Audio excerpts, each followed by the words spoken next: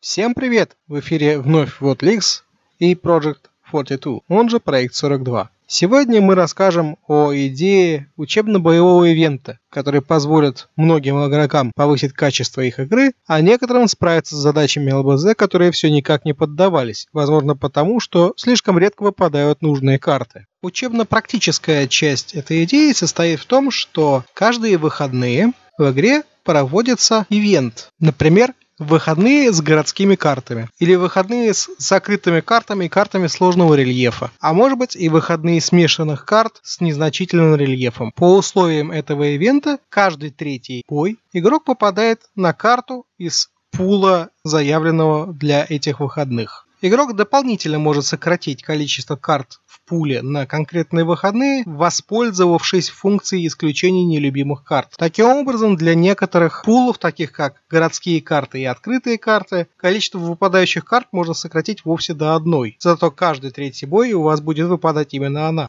Для чего это нужно? Попадая на карту определенного типа, игрок начинает выполнять личную боевую задачу. Одну из Таковые у него есть для любого класса и подкласса техники, а также для разных уровневых групп техники с 3 по 4, с 5 по 6, с 7 по 8 и с 9 по 10 уровни. Игроку не обязательно выполнять все задачи, достаточно выполнить те, что ему понравились, или просто те, которые выполнились автоматически. Задачи эти должны быть сложными и состоять из нескольких этапов. Если первые этапы может выполнить практически любой игрок, то для получения максимальной награды за максимальный уровень сложности надо действительно уметь хорошо играть. Ну или воспользоваться помощью учебных видео, которые должны быть в рамках этого ивента доступны прямо в клиенте игры. В этих видео можно будет встретить подборки гайдов от разнообразных блогеров, разборы карт и общие советы по игре на тех или иных классах или подклассах техники.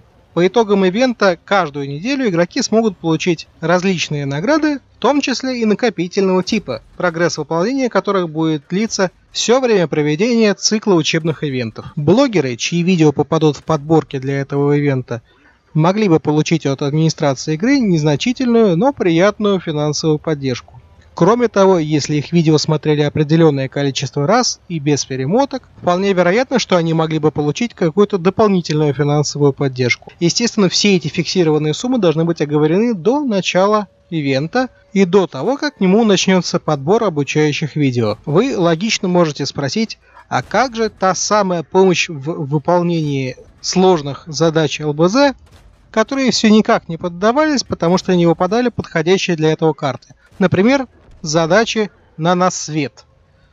Вы дожидаетесь выходных открытых карт. У вас есть Похоровка, Степи и Студзянки. Берете ЛТ и каждый третий бой у вас есть прекрасная возможность попытаться все же домучить свою задачу на легком танке.